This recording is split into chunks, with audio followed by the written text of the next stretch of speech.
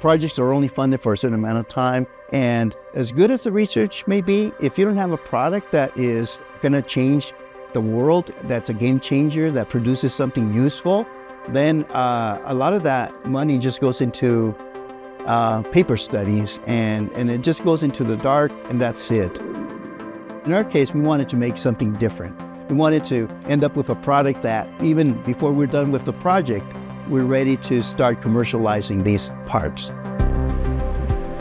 So we're working on a super alloy known as RHEAs, which stands for uh, refractory high entropy alloys. These were invented about 14 years ago for the purpose of using them uh, for aerospace components. The reason is that they use refractory elements, which are known to be very high temperature elements that have high strength.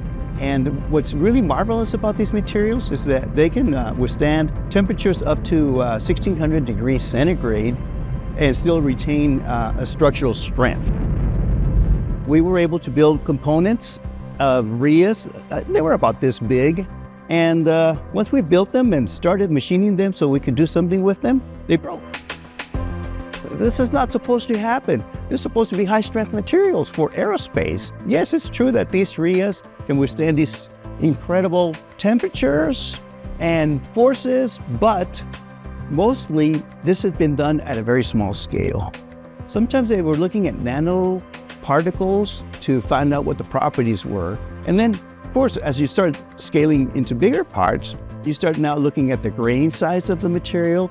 And so the material properties are totally different. What was really excellent at the nanoscale, now you bring it into a lab scale of a few millimeters and it starts breaking. It's easy to make a smaller part that is homogeneous, but how do you ensure that uh, homogeneous property propagates throughout the whole component? And we have demonstrated that. So this is the culmination of our work. World record RHEA, which uh, basically weighs 7.7 uh, pounds. It's an iteration process, basically. You produce a component, you observe the results, learn from that, and keep moving. It's a continuous improvement process. That's what we wanted to do is one, extend the length of the RHEA so that you can manufacture at a very high quality and being able to be machinable so that you can form the part that you need. Otherwise, it's just a nice theoretical toy.